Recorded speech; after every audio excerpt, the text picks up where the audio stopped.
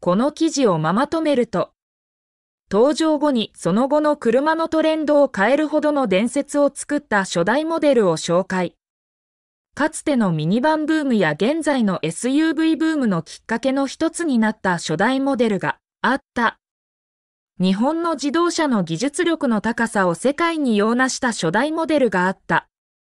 ブームの陰にはフロンティア的モデルの登場があった。映画、男は辛いよをご覧の方ならお分かりでしょうが、風天の虎さんが旅先で知り合うみすぼらしくて、貧乏臭い年寄りはすべからく東大一流の画家だったり、お殿様の末裔だったりします。何が言いたいかというと、ちょい古や片遅れの車だったとして、侮ることなかれ。中には伝説を作った偉大なる車もありがち、ということです。そんなレジェンドメイキングな車をいくつかご紹介しましょう。初代ポルシェカイエン。今でこそプレミアムブランドが作る高級高性能 SUV は珍しくも何ともありません。が、それは2002年にポルシェが初代カイエンをリリースし、このジャンルを急速かつ強固なマーケットに育て上げたからに他なりません。それまで高級 SUV といえばレンジローバー一択で、今でも流行っているゲレンデバーゲンなんかは変わり種くらいにしか見られていませんでした。そんな市場にドロップされたポルシェのエンブレムをつけた4度は、高い車高、それでいてターボ付きのバカ早振り。ポルシェのオーナーみんながどうしちゃったのてんてんと目を向いたこと、今でも思い出します。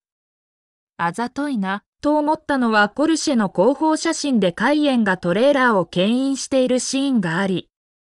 なんと載せていたのは73カレラ RS だったのです。これはポルシェユーザーでなくとも夢がパンパンに膨らんだのではないでしょうか。初代開園は中古市場では底根もいいところで、当時のプレミアム感は剥げ落ちてしまったかのようですが、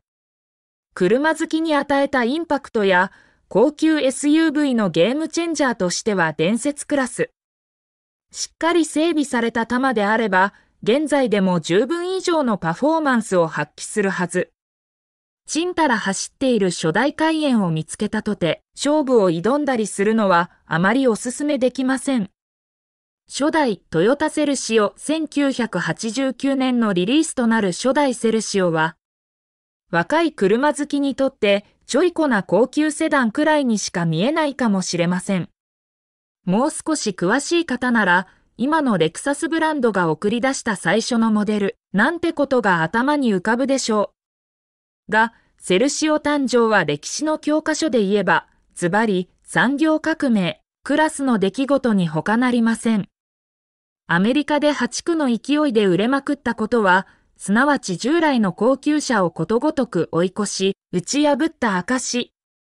それまでも相当高かったトヨタ品質をさらに倍くらい厳しくした結果、エンジンがかかっていること、いや走っていることすら感じさせない快適性能を実現したのです。静粛性や防振性能の高さは、海上自衛隊が潜水艦作りの参考にしたいと技術供与を依頼してきたほど。また、各国のプレミアムブランドがガチで脅威を感じて、欧米防車については自社による。開発を諦め、トヨタからセルシオを買って売ろうとしたなどという噂すらあるほど。また、セルシオのすごいところは、トヨタ社内の品質管理レベルも向上させてしまったところ、当時のライバルと目された日産シーマもよく売れたものですが、果たしてメーカー自身の意識向上まで成し得ていたかどうか、筆者は過分にして知りません。もはや30年以上前の車ですが、路上で見かけると未だにちょっとしたイフを感じずにはいられません。トヨタの底力は、こと車に関しては銀河系ナンバーワンかもしれませんね。まさに自動車の未来を変えたレジェンド。初代トヨタプリウス。とにかく初のハイブリッド車として21世紀に入る前に路上を走り出しただけでも伝説ものです。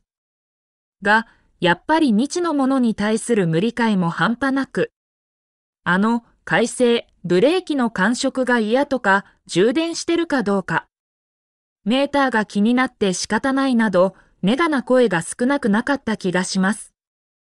また、カリフォルニアのトヨタがデザインしたスタイルも当時の小型車としては、ルーフが高く、個性的なフロントマスクなども、相まって物好きが乗る車などと揶揄されてこともありましたっけ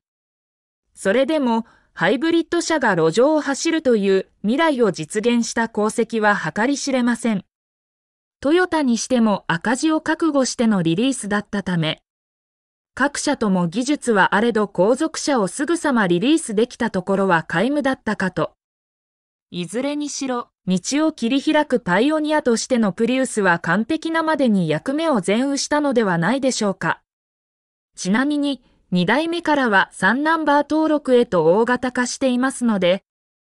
小さなボディに技術を凝縮しているという意味でも初代は称賛されるにふさわしいモデルと言えるでしょう。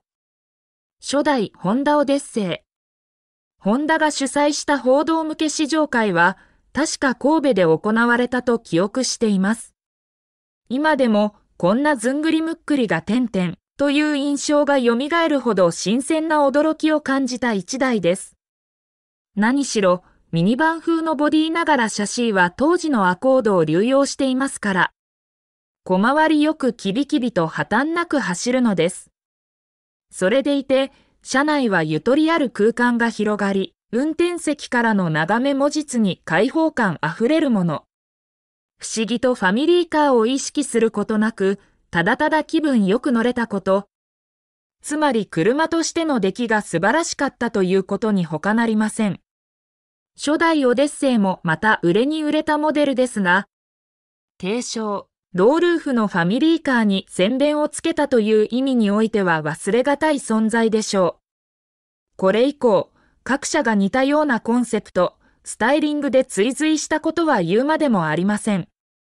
一方で、オデッセイを量ができた車も見当たりませんので、やはり初代は神が買っていたのではないでしょうか。ちなみに、初めて走った神戸の交通環境は都心育ちの筆者にとってかなりのカオスでした。ワイルドな交通マナーに馴染んでいかないと、むしろ危ないという状況において、オデッセイがしっかりついていける車だったことも好印象の一因です。いや、ほんと今でも走ってるのを見ると、見識あるドライバーだと軽く目礼したくなるほどです。